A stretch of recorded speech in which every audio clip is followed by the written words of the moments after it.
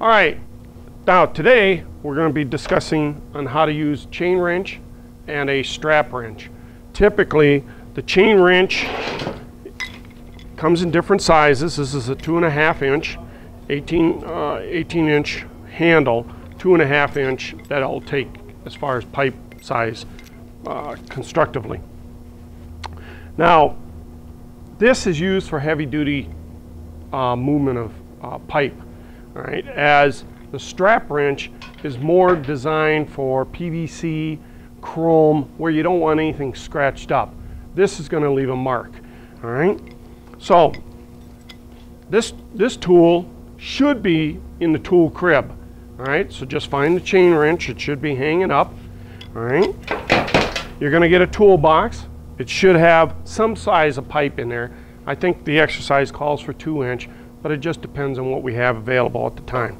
So you got the, the, the pipe, you got a coupling, and you got pipe thread uh, tape, all right? Now, the exercise is pretty simple. We want to discuss how to get the coupling onto the pipe and tighten down. First of all, be sure you're wearing your gloves and glasses. You got to have a pipe vise. Now there's several of them located throughout the lab, so just use whatever is available. Uh, but again, if you're down by the welding portion, be aware of that they have priority over there, and uh, just be careful. All right. Otherwise, there's a couple out here outside. Now, you notice that it has the uh, cuts and the grooves in this.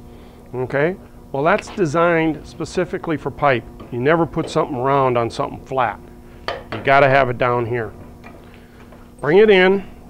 Leave yourself enough room. Okay. Try not to get the threads involved, and just firm it up so it doesn't move anywhere. This is the hardest part for most people because you got to kind of think backwards. All right.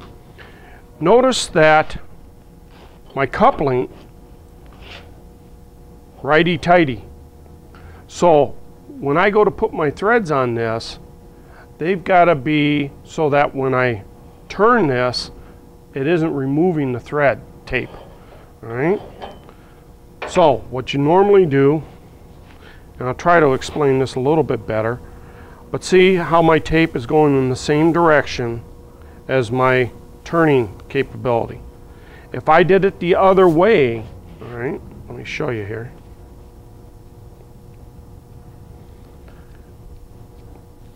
If I went and put it this way on the pipe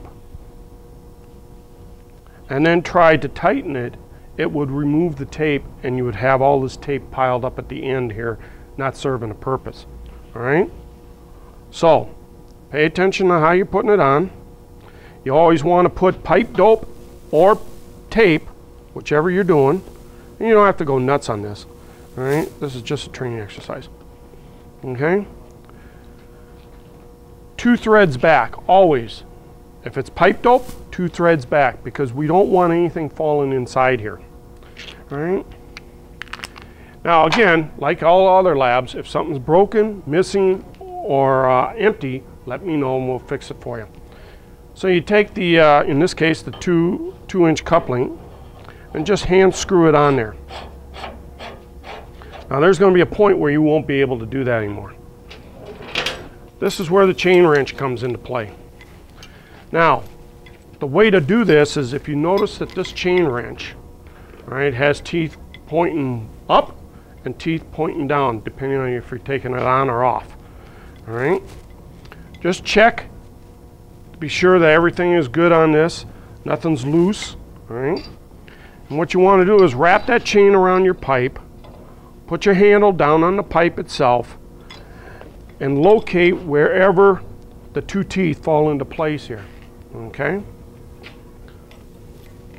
Now, you see, I can slide that up so that my teeth that I'm pushing on are pushing into the metal. All right? And I can just tighten that right down. Okay?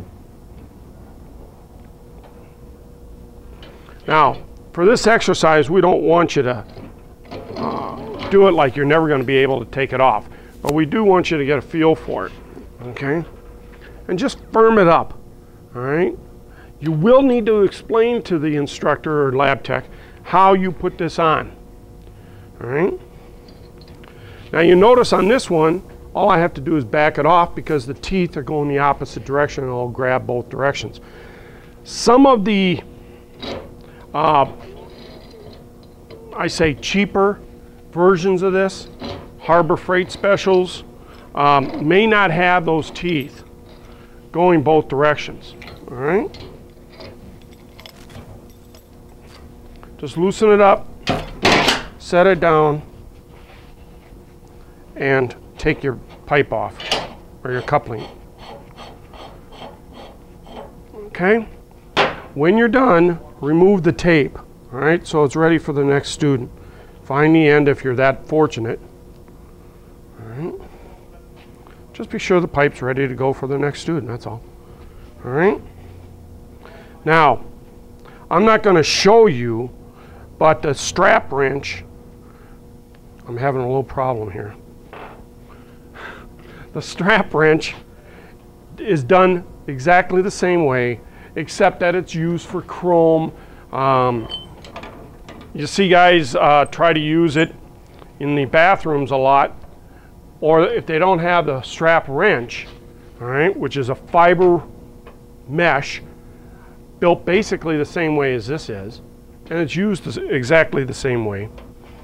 What they do is they take a rag, wrap it around the pipe, and then put a pair of vice grips or uh, T&G pliers on there and do it that way. Not the greatest chance because most of the chrome that you're going to get in your bathroom and everything is pretty, pretty uh, lame. And it doesn't take much to uh, damage that stuff. So just, you know, for 12 bucks, get a decent strap wrench. Even uh, since it's only used for real light work, Harbor Freight would be a good place to go. All right, you can get them on sale for three dollars or something. All right, but that will also be in the toolbox or in the tool crib. All right.